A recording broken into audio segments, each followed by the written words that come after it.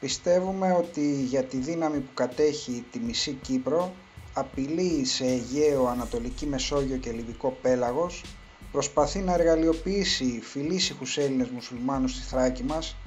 την Τουρκία του Κάζους Μπέλη που καταπιέζει τους Κούρδους εντός και εκτός των συνόρων της, έχει εισβάλει στη Συρία και εμπλακεί στη Λιβύη για να εκθέσουμε μόνο λίγα από όσα πράττει ενάντια στην ειρήνη και το διεθνές δίκαιο, τα περαιτέρω σχόλια από μας πιστεύω ότι περιτεύουν.